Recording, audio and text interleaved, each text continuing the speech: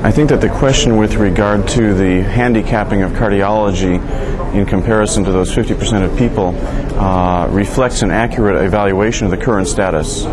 And that importantly is related to what in fact this organization is about, the identification of the vulnerable plaque.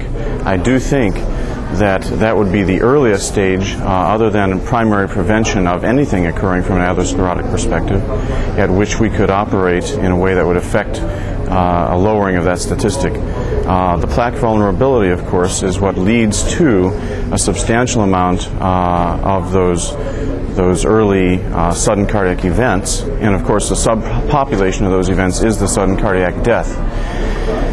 Although I think it's also important to think about the sudden cardiac death aspect, as has been widely discussed, especially recently, with regard to the deploying of AICDs and, and other uh, uh, phenomena of that nature, thus to treat the, the cardiac death aspect.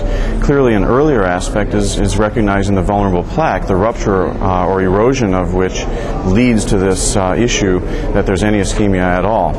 So the real question becomes can we identify some sort of way of recognizing when that is about to happen? Either in one or in more areas of the arterial wall. I think there are two aspects of cardiology research that are going to be very important in uh, leading to that identification and potential for treatment. The first one I would identify as non-invasive imaging modalities or minimally invasive. Certainly minimally invasive modalities such as thermography and others that have been uh, beautifully developed uh, even to date to identify a potential area of vulnerability will be important. But I think where the real future will lie is if when we can identify uh, either through um, uh, specific pulse sequences and energy detection modalities, um, the, uh, uh the uh, temperature based or other kind of alterations, heterogeneity in the vascular wall in a fully non invasive way.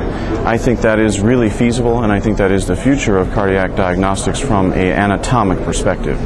Now, having addressed the anatomic perspective, I think it's also uh, critical that we look at the physiology.